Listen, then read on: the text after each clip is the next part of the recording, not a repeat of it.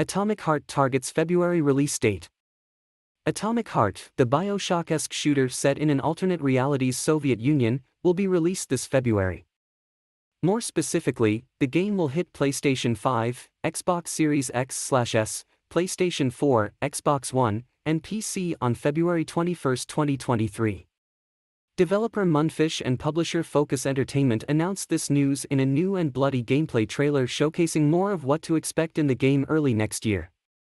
As you can see, Atomic Heart continues to look great in trailers and I can't wait to finally go hands-on with it in just 4 months, especially as a fan of Bioshock.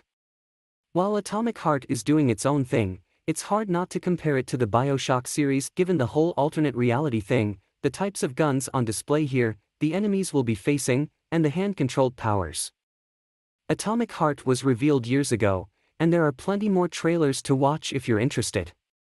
Check out this 2020 gameplay trailer for an early look at the game, and then watch this 2021 trailer for a look at the creepier side of Atomic Heart. Find out why it's one of our most anticipated horror games after that, and then watch this action-packed combat trailer from earlier this summer. For additional information about Atomic Heart, be sure to check out Mundfish's official website, where there's info about the game's different editions available for pre-order and more.